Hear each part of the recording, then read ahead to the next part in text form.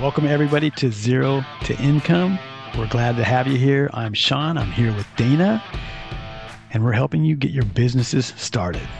We want to help you move from financial dependence to financial freedom, from dreaming to achieving, from blindly following the masses to being an independent thinker, from zero to income.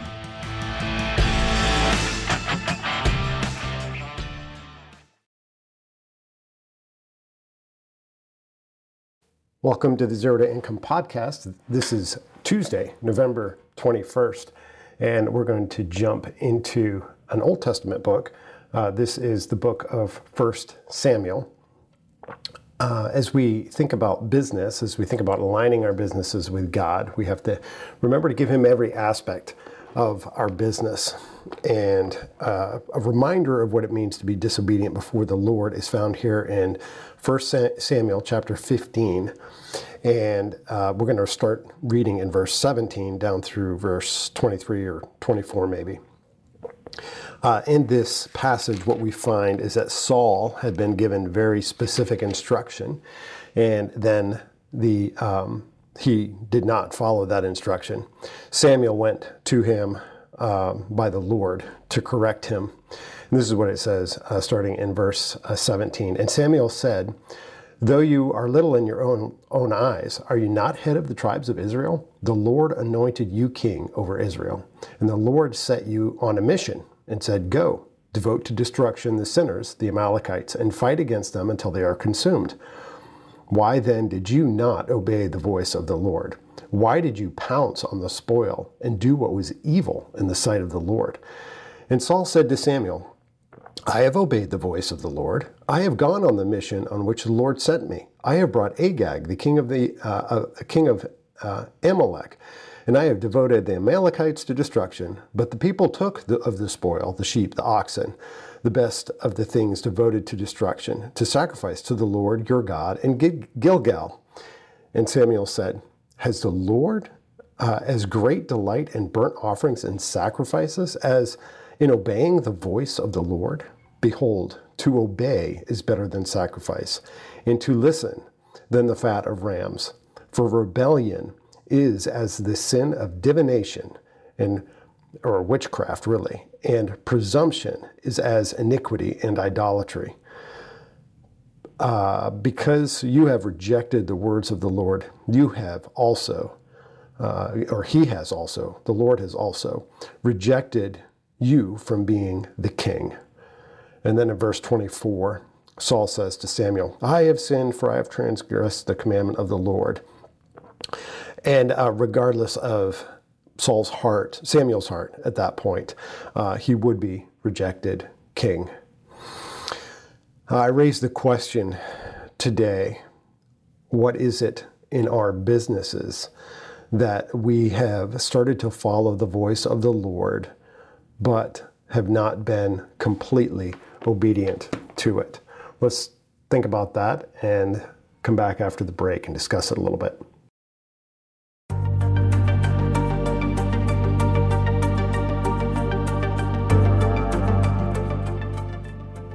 Sean and I would like to invite you to say goodbye to spending countless hours and countless dollars in trying to launch your business. Personally, I've spent over $20,000 on two ideas trying to get them launched with companies that promised to help me all along the way, only to find that things were very complicated, they were guessing, and neither of them truly helped me launch my business.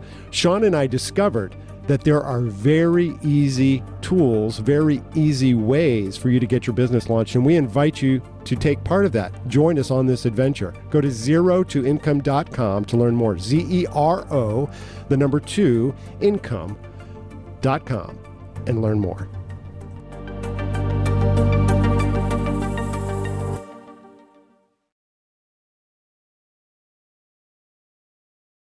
God gave Samuel some very clear instruction, yet he did not follow it.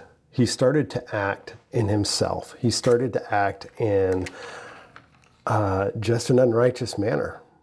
And this was all very clearly spoken spoken to him in um, um, and you can go back to the beginning of, of uh, chapter 15.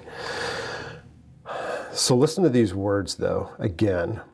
This is what Samuel said to Saul after he had given him all of his excuses.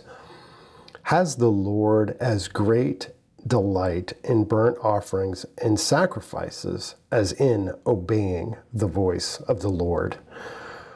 Again, as we think about these things, there's a personal perspective that goes forth into our business. It flows out of us into all of our business dealings.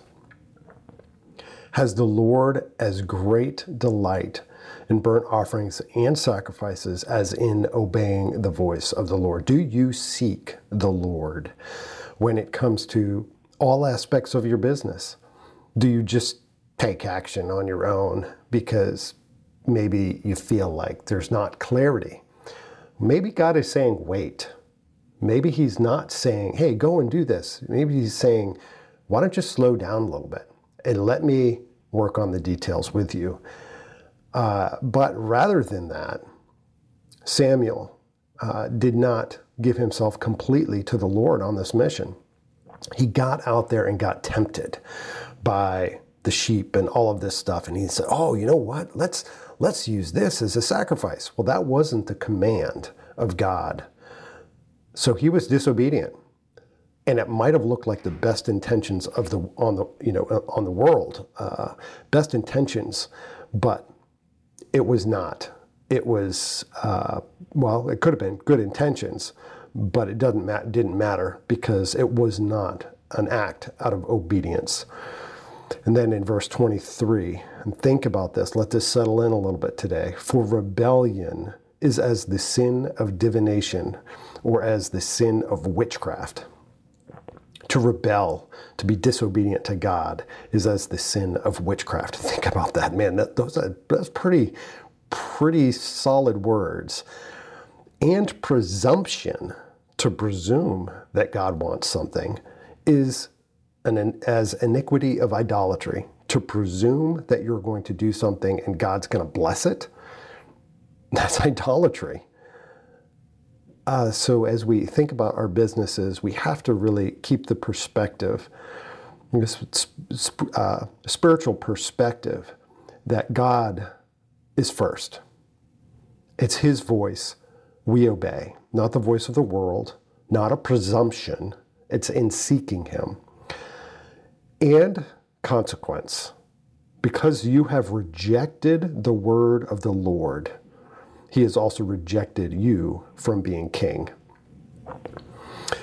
We have to have a heart, a soft heart before the Lord when it comes to being obedient to Him, waiting on Him, to let our businesses take an, uh, a role of an idol in our lives is a sin. To presume that the Lord is going to bless something because we've done it is sin. To obey is better than sacrifice.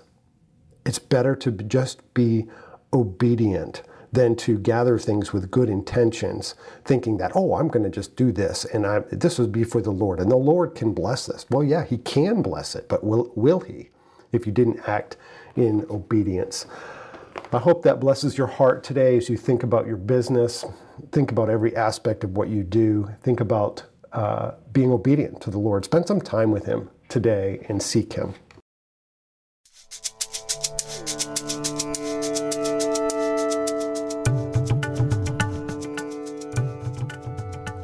On behalf of Sean Elliott and myself, Dana Morrison, we'd like to th- say thank you sincerely for listening to this episode. We hope that it helps you on your entrepreneurial journey.